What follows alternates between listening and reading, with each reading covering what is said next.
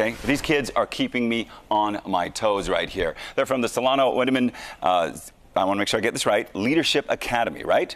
That's okay, you guys are fifth graders, right? Yeah. No. no. What? I got you, didn't I? Oh, they've done doing something cool. These are third graders going into fourth grade, right? Okay. They've been part of a very cool program in Solano County, and I want to talk to Lee Asensio more about that because this is all about recycling.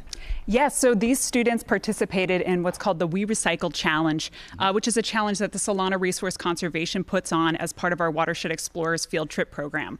Um, so that program is all about teaching students how to be good stewards of their waterways and of their environment. Um, and so this challenge basically encourages classrooms across Solano County to recycle as many CRV recyclables as they can over the course of one month. Okay. So CRV stands for California Redemption Value. These are like the plastic bottles. Yeah, Yes, exactly. yes. Okay, I'm going to ask you guys about it. You guys ready to talk? Okay, we're going to come over here. Sophia, right?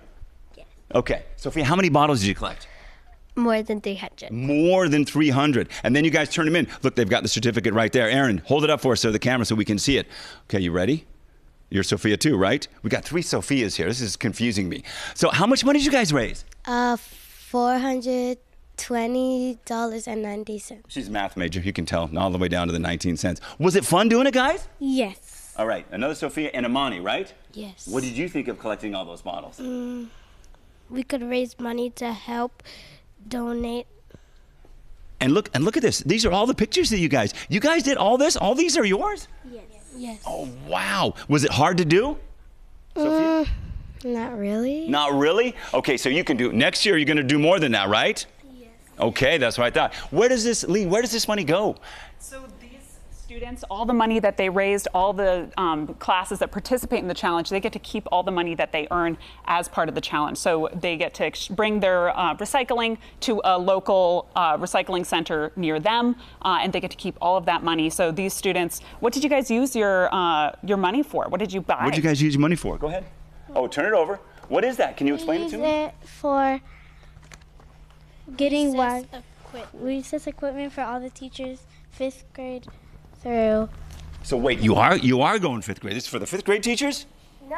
No, I'm just kidding, you guys. But this is this is for the school, right? Yes. Was it pretty cool? Yes. All right, you guys going to do it again next year?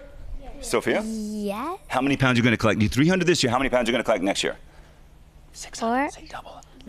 Four hundred. 400? Okay, setting goals high. That's the point, though, to kind of establish a pattern, right, Lee? Yeah, we're so, so proud of Solano Widenmann Leadership Academy and their amazing work collecting this many recyclables. And, and it's just wonderful to see so many students participating in this challenge across the county um, to make a difference in our environment and to really, um, you Help know, put help Yeah. the future. Exactly. These yeah. are the habits that we want to instill in us. Okay, we could be more like you guys. Guys, wave to the camera. Thank you so much for being here. We appreciate it. Lee, thank you so much.